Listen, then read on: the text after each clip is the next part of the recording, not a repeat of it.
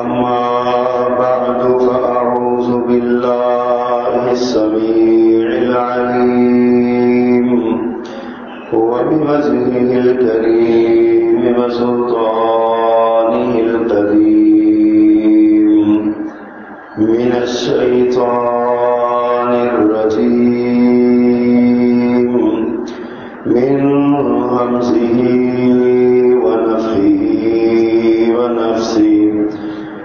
بسم الله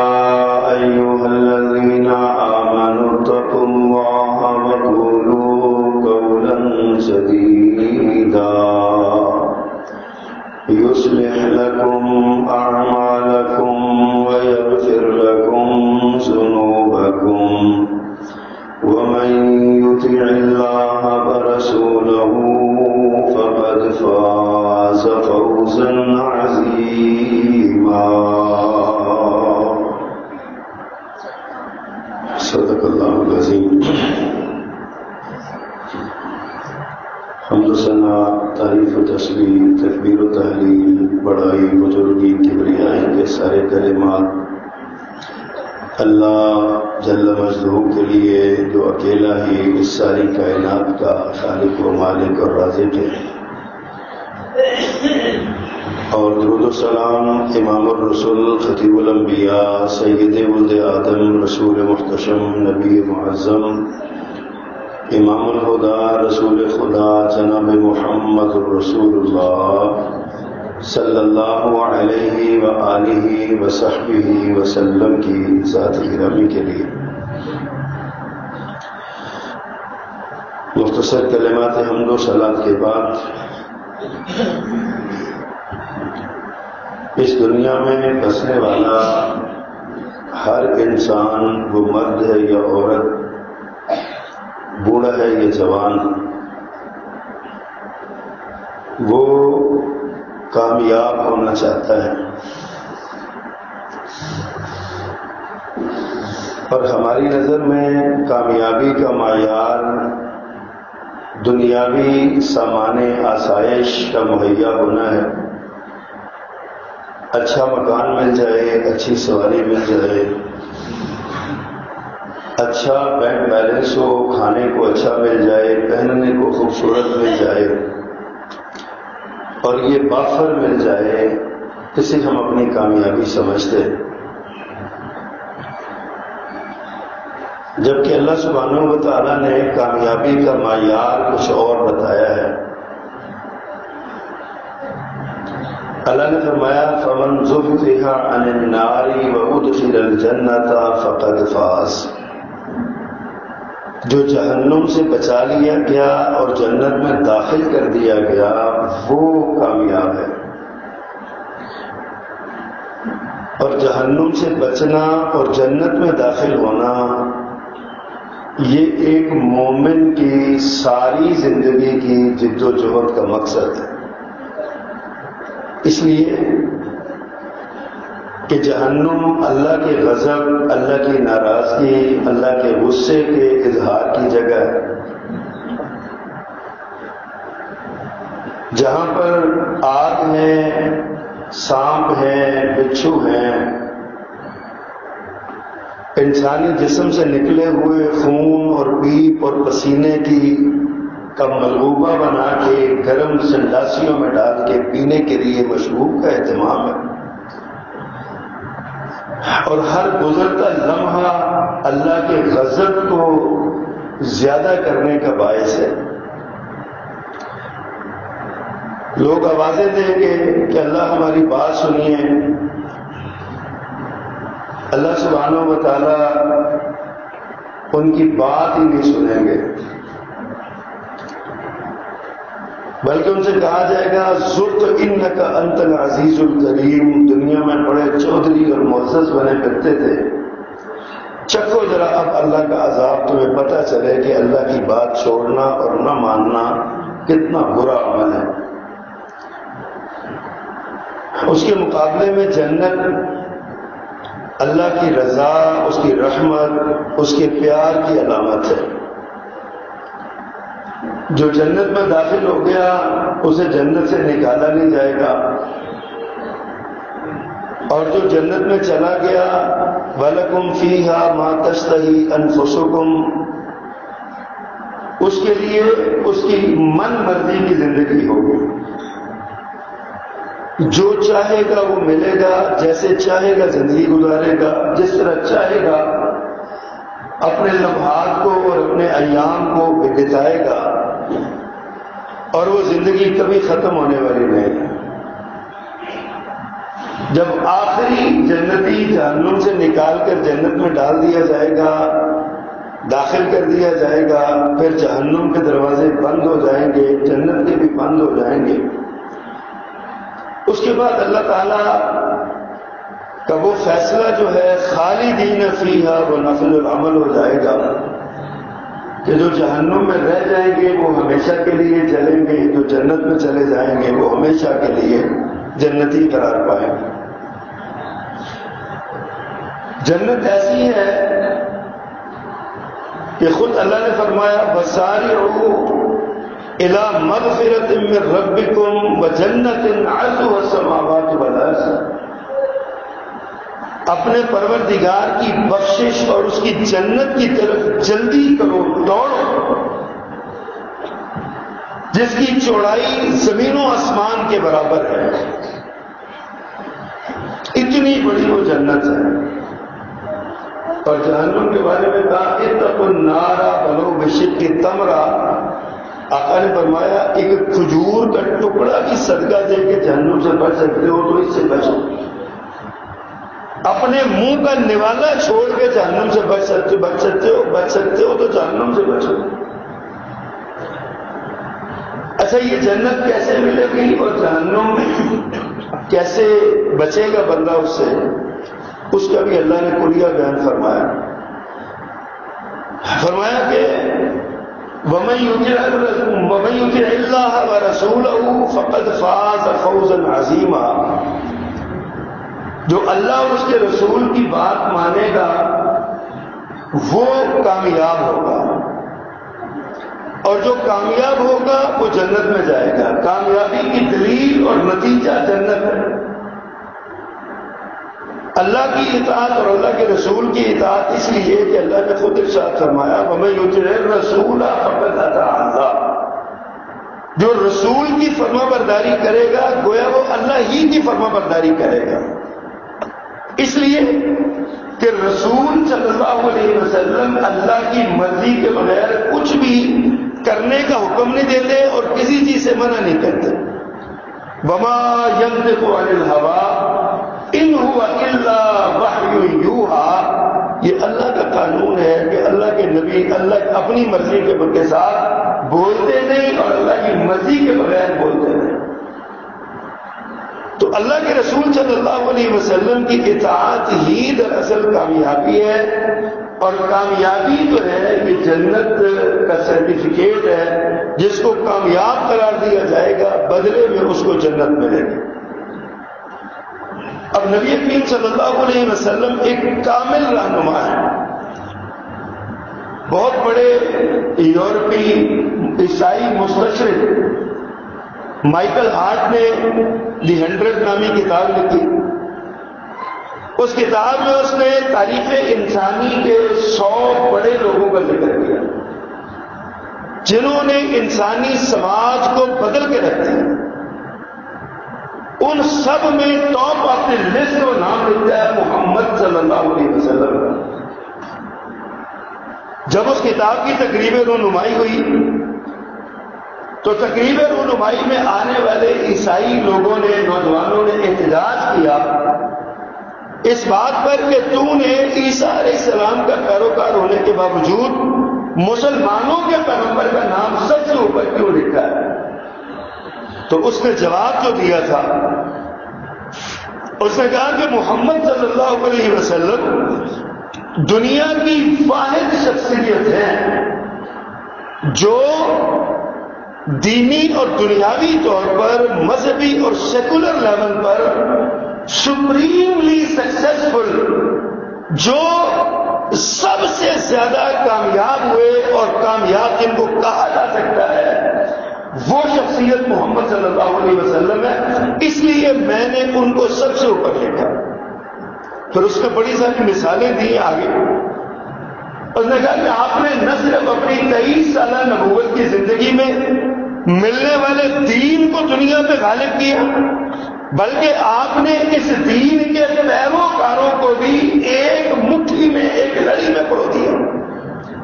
اور یہ دنیا کی کوئی اور شخصیت نہیں کر سکے جس کا دین دنیا میں بڑی تیزی سے پھیلا، جتنی تیزی سے اسلام دنیا میں پھیلا ہے، اتنی تیزی سے دنیا کا کوئی دین اور مذہب نہیں پھیلا۔ کسی نبی، سارے نبی محترم اور مکرم ہیں۔ علیہ السلام، اللہ سب پہ کروڑ سلام دیا نازل فرمائے۔ سارے ہی انتہائی قابل احترام ہے مسلمان کا عقیدہ یہ ہے کہ کسی بھی نبی کے بارے میں توہین امیر جملہ، بولنا، لکھنا تو کچھ ان کے بارے میں سوچا بھی نہیں جا سکتا۔ اس لیے کہ روح عرضی میں وہ اللہ کی منتخب شخصیات۔ اللہ کی چنیدہ شخصیات ہے جن کو اللہ نے اپنا پیغام آگے لوگوں تک پہنچانے کے لیے اللہ نے ان کو تیار کیا اور ان کو چن لی لیکن اس اعزاز کے باوجود بھی یہ بات کہی جا سکتی ہے کہ محمد الرسول اللہ صلی اللہ علیہ وسلم کے سوا کوئی بھی نبی اتنی بڑی کامیابی نہیں پا سکے جتنی رسول اللہ صلی اللہ علیہ وسلم کو ملی۔ گویا پیارے پیغمبر صلی اللہ علیہ وسلم کی کامل رہنما تھے۔ دین اور دنیا کا کوئی کوشا ایسا نہیں جس میں آپ نے انسانیت کی رہنمائی نہ کی۔ دین اور دنیا کا کوئی ایسا معاملہ نہیں جس میں آپ نے امت کو ایک رہنما اصول نہ دیا۔ آپ نے فرمایا خزو عنی مناسب لوگوں مجھ سے حج کے طریقے سیکھ لو عبادت کے طریقے سیکھ لو کئی فرمایا سلو کمارا ای تو مونی اسلی نماز ایسے بولو جیسے مجھے پڑھتے ہوئے دیکھا گویا آپ نے نماز، روزہ زکات حج، خیرات اور سجدہ اور رکوع اور قوما اور قیام اور تلاوت اور عبادت اور ریاضت زندگی کے تمام عبادات کے معاملے میں پاک پیغمبر صلی اللہ علیہ وسلم نے انسانیت کی مکمل رہنمائی فرمائی۔ اور صرف اس دین کے معاملے میں نہیں، نبی محترم صلی اللہ علیہ وسلم نے دنیا کے معاملے میں بھی انسان کی رہنمائی فرمائی۔ رشتے داریاں کیسے نبھانی دوست احباب سے کیسے ملنا؟ ہے آنے والے مہمان کی عزت کیسے کرنی ہے؟ گھر میں ٹھہرے ہوئے لوگوں کے ساتھ سلوک کیسے کرنا ہے؟ آپ کی گلی، محلے، معاشرے کے لوگ، آپ کا ہمسایا آپ کے ساتھ آپ کا سلوک اس کے ساتھ کیا ہونا چاہیے؟ آپ نے حکومت کے، جہاں بانی کے، جہانداری کے اصول جنگ فرمائے۔ آپ نے عرب کے بدوؤں کو دنیا کا حکمران بنوا دیا۔ یہ آپ کی تعلیمات تھی۔ آپ نے سیاست کے اس اشار و سمجھائے۔ آپ نے تجارت کی باریکیاں سلجھائی آپ نے معاش اور معیشت کی کچھیاں سلجھا ڈالی۔ پاک پیغمبر صلی اللہ علیہ وسلم، ایک کامل اور مکمل انسان، حضرت محمد الرسول اللہ صلی اللہ علیہ وسلم۔ اسی لیے میرے آقا نے میرے اللہ نے یہ بات فرمائی وہ میں یوٹیوب رسول فقط عطا اللہ جس نے اللہ کے رسول کی بات مانی، اس نے اللہ کی بات مانی۔ جس نے رسول اللہ کی اطاعت کی، اس نے اللہ کی اطاعت کی۔ جس نے رسول اللہ صلی اللہ علیہ وسلم کی فرما برداری کی، اس نے گویا اللہ کی فرما برداری کی، اور جس نے اللہ اور اس کے رسول کی فرما برداری کی، دنیا کی کامیابی اس کے قدموں میں اور آخرت میں کامیاب و کامرانی کا سرٹیفکیٹ اس کے لیے ساتھ ہو چکا۔ بہت سے زندگی کے شعبے ہیں، لیکن چند معاشرتی، بنیادی معاشرتی اصولوں کی بات میں کرنا چاہتا ہوں۔ جس میں پاک پیغمبر صلی اللہ علیہ وسلم نے ایک اپنی خدادات بصیرت سے اللہ کی نازل کردہ وحی کی روشنی میں آپ نے ایک بہترین سوسائٹی تشکیل دی، ایک بہترین معاشرہ آپ نے تشکیل دیا۔ اس معاشرے کا باہمی ربط و زبر اس میں لوگوں کی آپس کی محبت و الفت اور یہ وغیرہ کے رہنما اصول آپ نے بنائے۔ اور پھر آپ نے معاشرتی تعلقات کی تربیت اس انداز میں کی کہ معاشرتی تعلقات کو جنت کے ساتھ جوڑ دیا۔ فرمایا جو ایسا کرے گا اسے جنت ملے گی، جو معاشرے میں ایسا کرے گا اسے جنت ملے گی۔ جنت ہی مقصود ہوتا ہے۔ ہم جنت سے نکالے گئے ہیں، ہمارے باپ کو جنت سے نکالا گیا تھا۔ ہم دنیا میں بس رہے ہیں، ہمیں یہی پیغام دیا گیا۔ اگر تم اللہ اور اس کے رسول کی بات مانو گے تو تم اسی جنت میں دوبارہ خیرات لے جاؤ گے جہاں سے تم نکالے گئے یہ دنیا دار امتحان ہے ابتدا کے لیے بھیجا گیا۔ ہمارا امتحان ہو رہا ہے۔ کچھ چیزوں سے میں منع کر دیا گیا کچھ چیزوں سے کرنے کا حکم دے دیا گیا اجازت دے دی گئی کہ تم یہ کر لو، یہ نہیں کر۔ اب یہ امتحان ہو گیا۔ اس امتحان میں کون سرخرو ہوتا ہے؟ اور کون ناکام خائب و خاصر ہوتا ہے۔ اس کے لیے کسوٹی محمد الرسول اللہ صلی اللہ علیہ وسلم کی ذات ہے۔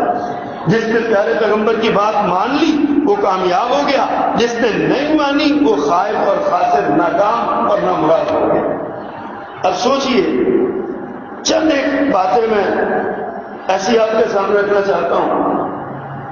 چند اعمال ہیں جن کے کرنے سے پیارے پیغمبر صلی اللہ علیہ وسلم نے جنت کی ضمانت دی ہے۔ ہمیں سے ہر ایک جنت میں جانا چاہتا ہے۔ کون ہے جو جنت میں نہیں جائے گا؟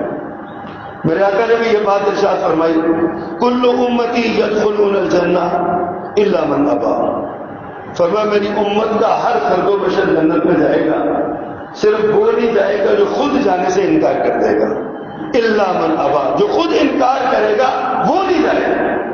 اب صحابہ کی ہم تڑپ اٹھے اس بات پہ ٹھیک ہے من ابا یا رسول اللہ؟ اللہ کے رسول بلا جنت میں جانے سے بھی کوئی انکار کرے گا۔ کون بد نصیب ہے جو جنت میں جانے سے انکار کرے گا؟ آپ نے ساتھ فرمایا، من اطاعنی دخل الجنہ۔ جو تو میری بات مانے گا وہ تو جائے گا جنت میں۔ وہ من آسانی فقط ابا۔ جو میرا نافرمان ہے، دراصل وہ جنت میں جانے کا انکاری ہے۔ اس کا جی نہیں چاہتا جنت میں جانے کو، اس نے انکار کر دیا ہے کہ میں نے جنت میں نہیں جانا۔ میری نافرمانی کے ذریعے اس نے اللہ کو پیغام دیا، مجھے جنت کی ضرورت نہیں ہے۔ اللہ ہم سب کو محفوظ فرمائے۔ اللہ ہمیں جنت کے اہل جنت جو ہے اللہ ہمارا شمار ان میں فرمائے۔ میرے آقا نے تین اعمال ایک حدیث میں بیان فرمایا جس میں آپ نے جنت میں جانے کی گارنٹی نہیں دی صرف آپ اس پر ضریم نہیں بنے، ضامن نہیں بنے، بلکہ آپ نے تین اعمال اور ان کے نتیجے میں جنت کے کس کس مقام پر بندے کو محل ملے گا، اس کی طرف نشاندہی فرمائی۔ اور آپ دیکھیے، تینوں کا تعلق انسانی سماج سے ہے۔ ان تین اعمال کا جو جنت میں جانے کا باعث بنے گا۔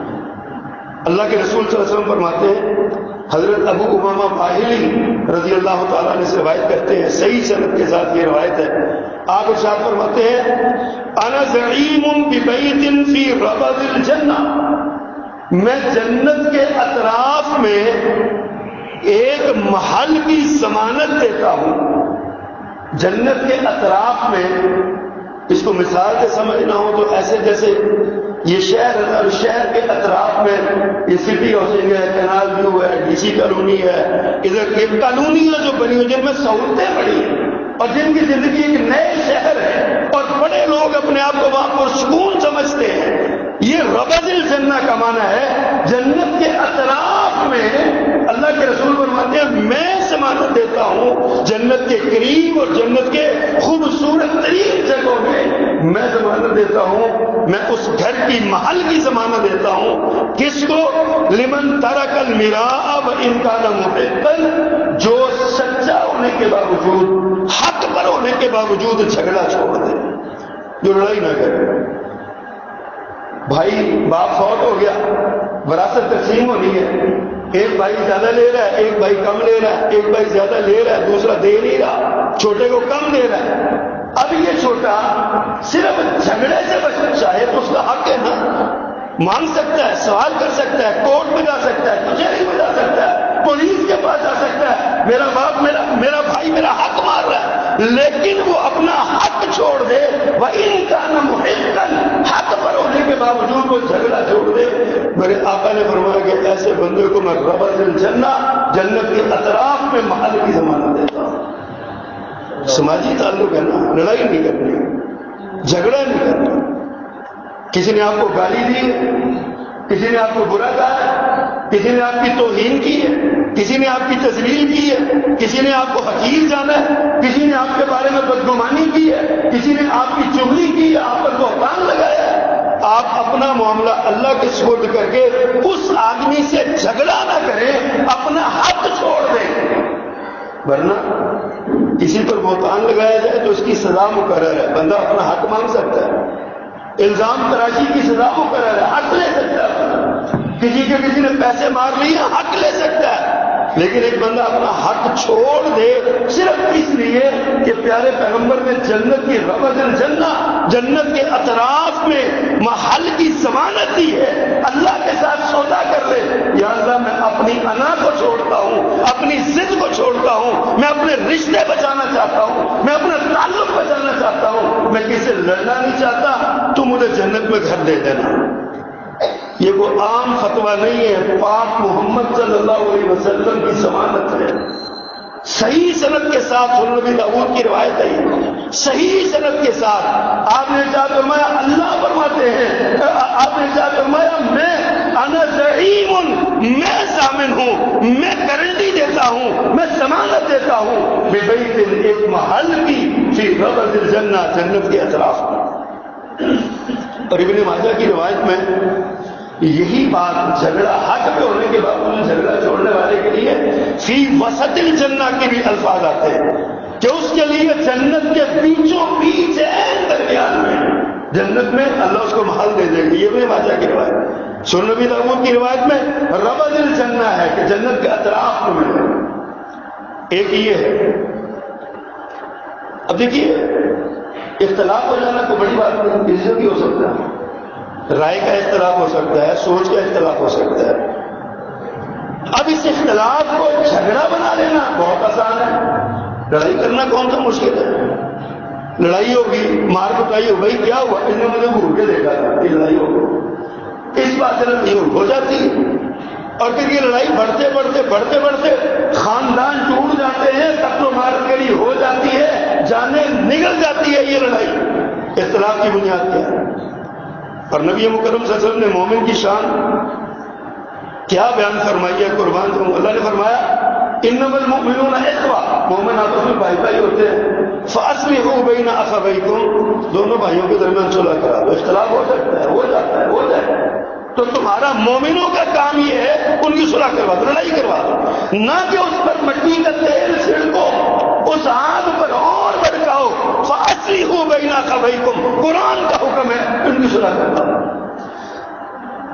اور نبی مکرم صلی اللہ علیہ وسلم نے فرمایا، ان اب نظر رجالی اللہ الخصام اللہ کو جو سب سے زیادہ ناپسند بندہ ہے نا، جس سے گویا جس سے اللہ نفرت کرتے ہیں، جو اللہ کو ناپسند ہے فرما وہ الد الخصام ہے، جھگڑا لوگ وہ جھگڑا کرنے والا ہے۔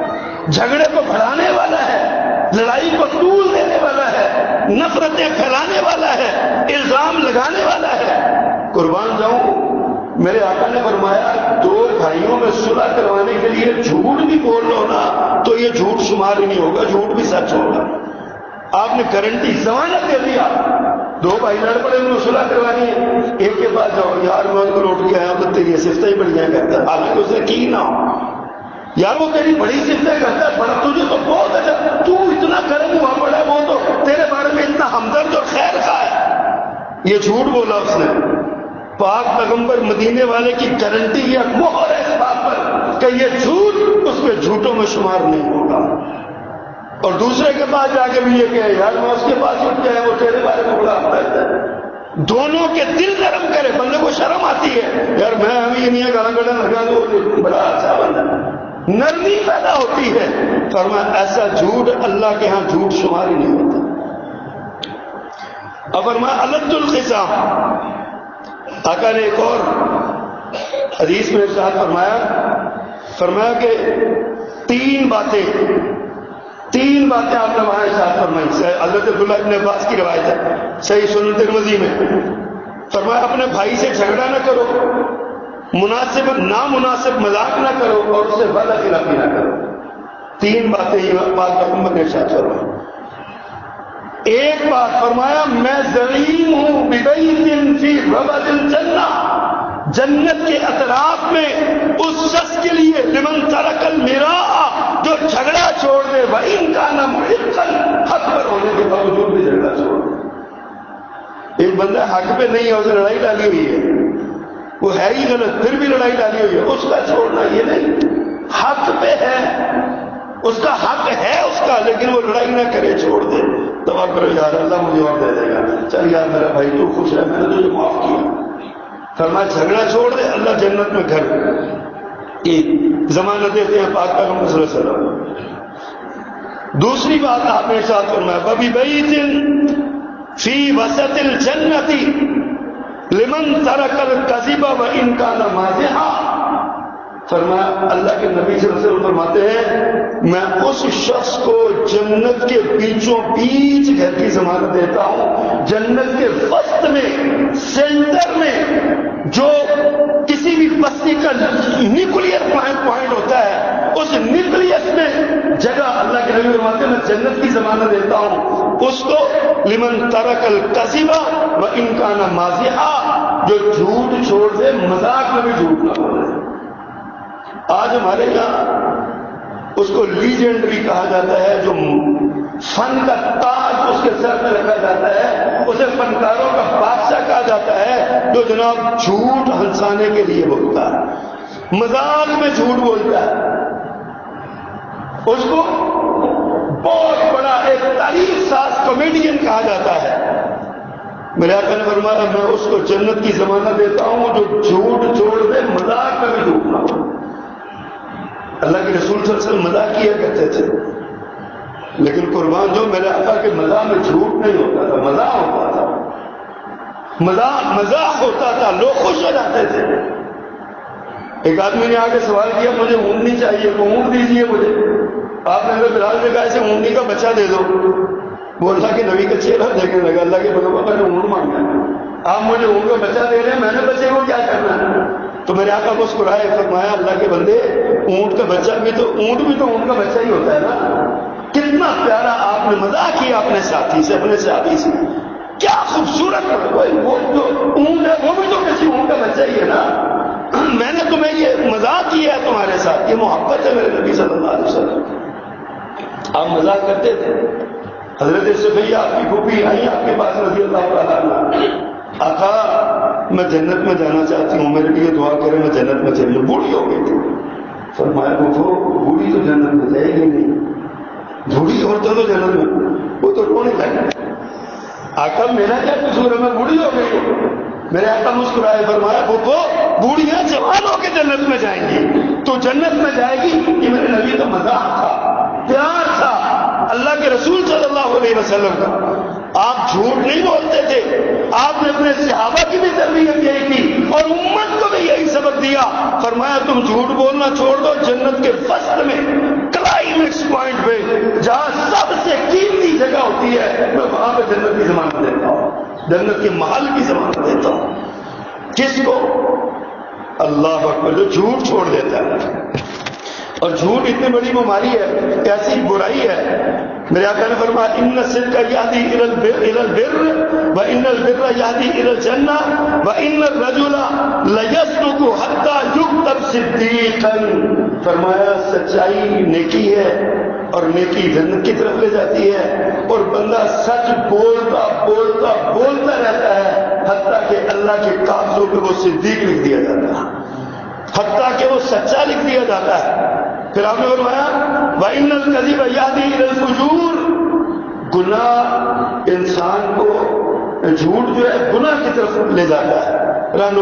گناہ بتاتے خود بھی، جھوٹ بتاتے خود بھی گناہ جھوٹ بتاتے خود بھی گناہ ہے۔ لیکن جھوٹ بولنے والا وہ چلتا ہے ایک برے گناہ کے راستے کی طرف۔ اور گناہ انسان کو فرمایا ان کجور یاتی النار، اور گناہ انسان کو جہنم کی طرف لے جاتے ہیں۔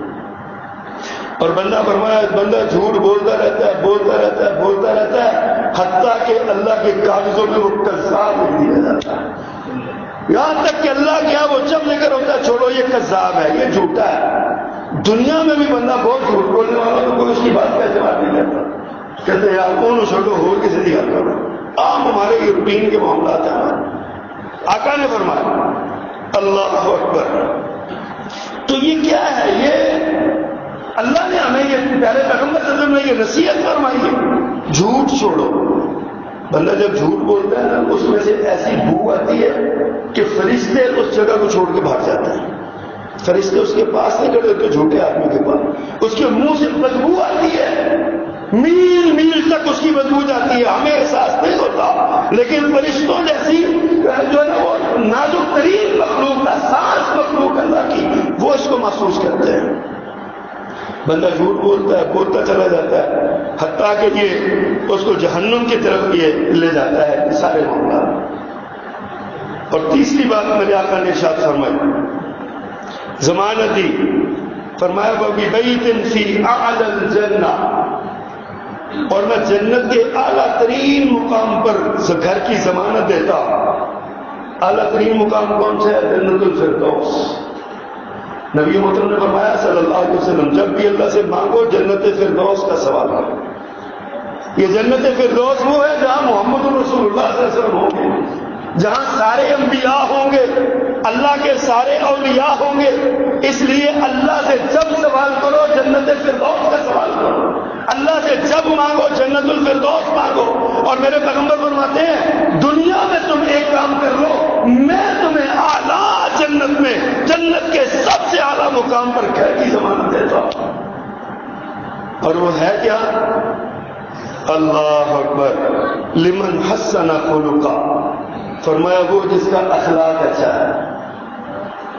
جس کا اخلاق اچھا ہے۔ اب دیکھیے، تین عمل ہے تینوں پہ کوئی پیسہ نہیں لگتا۔ تینوں میں کوئی وقت نہیں لگتا تینوں کے لیے کوئی محنت بھی نہیں کرنی پڑتی۔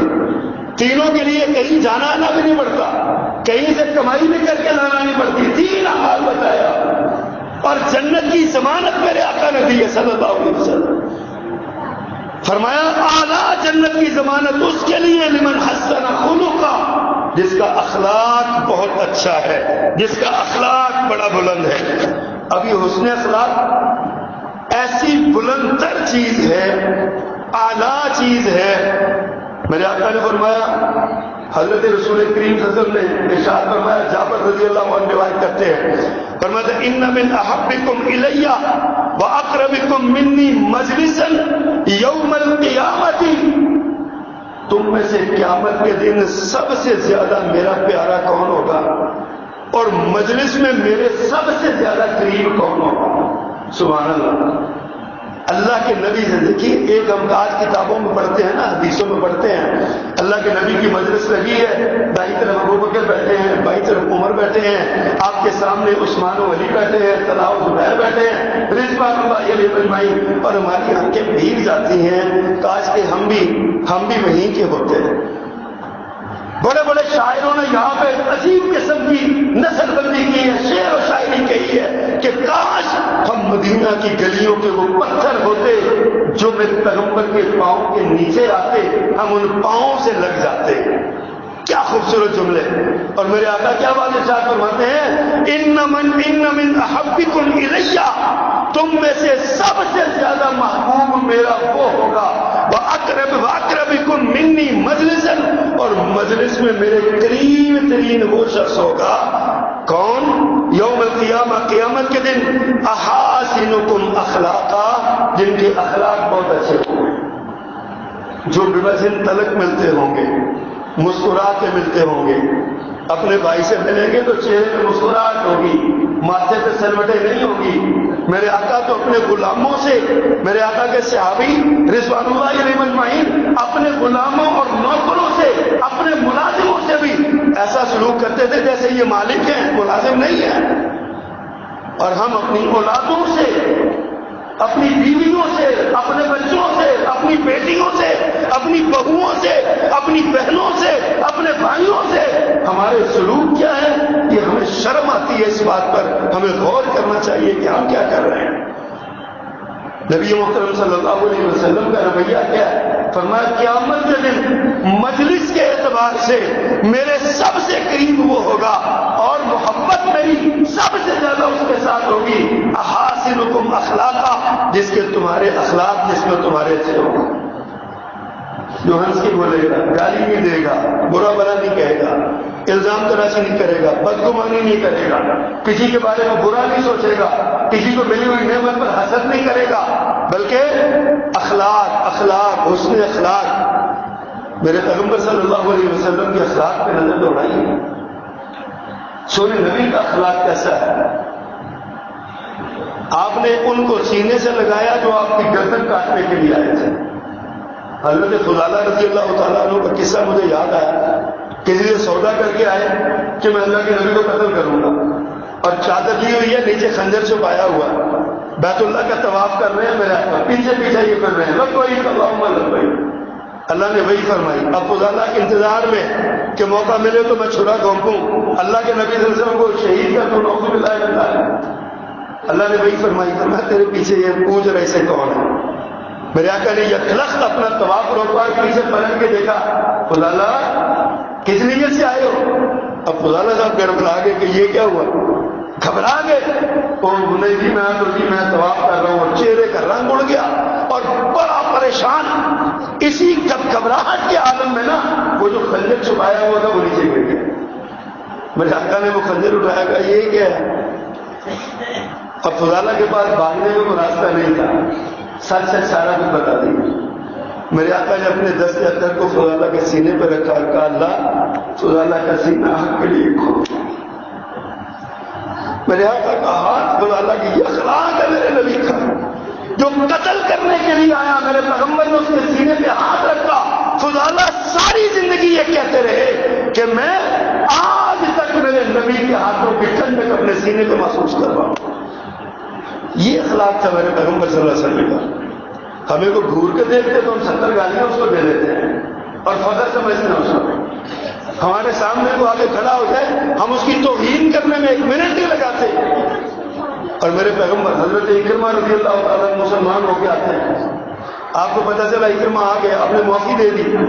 اکرما وہ ہے، ان مجرموں میں شامل ہے، جن کے بارے میں فتح مکہ کے موقع پر آپ کا اعلان تھا۔ غلاف کعبہ سے چمٹے ہوئے تو تبھی قتل کر دینا اتنا بڑا مجرم ہے۔ فرمایا غلاف کعبہ سے چمٹا ہوا ہو تو مار ڈالنا۔ لیکن یہاں نے آ کے معافی طلب کی۔ میرے آقا رحمت اللہ عالمین نے معاف کر دیا۔ اب اکرما آ رہے ہیں۔ میرے آقا سے ملنے کے لیے، شرف صحابیت کے لیے۔ کیا اللہ کے نظام بھی بڑے عجیب ہیں، اللہ کی نظر رحمت۔ جو ہے نا وہ بہت وسیع ہے۔ ہم ذرا ذرا سی بات پہ کسی کو جہنم کے ٹکٹ، کسی کو جنت کے ٹکٹ، کسی کو کہیں، کسی کو کہیں بھجوا دیتے ہیں۔ قربان جو میرے پیغمبر نے اسی لیے فرمایا کہ کسی کو تم کسی کے بارے میں نہ جنتی ہونے کا سرٹیفکیٹ دے سکتے ہو، نہ جنتی، جہنمی ہونے کا۔ تمہارے پاس اختیار ہی نہیں ہے۔ تم کون ہوتے ہو؟ کسی کو جنتی اور جہنم کہنے والے؟ ہو سکتا مرنے سے پہلے اس نے اللہ سے صلح کر دی۔ ہو سکتا ہے مرنے سے پہلے اس نے اللہ سے صلح کر دی ہو یا ہو سکتا ہے ساری زندگی نیکی کرنے والا زندگی کے آخری لمحے میں کوئی ایسی حرکت کر بیٹھا ہو تو کا بنتا ہے۔ اس لیے مرمان ہے اکرما ہے آپ کو پتا چلا اکرما ہے آپ نے اپنے صحابہ کرام کو قربان دو صحابہ کرام کو اپنے ساتھیوں کو سمجھایا۔ اکرما آ رہا ہے مسلمان ہو کے آ رہا ہے۔ اکرما کے بارے میں نہ، اس کے باپ کے بارے میں کوئی بات نہ کرنا باپ کون؟ ہے پتہ باپ کون ہے؟ اکرما کا باپ کون ہے؟ ابو جہل۔ جس کی لاش پہ کھڑے ہو کے میرے آقا نے فرمایا تھا حاض فرعون حاضی حاضر اما اس امت کا فرعون ہے یہ شخص۔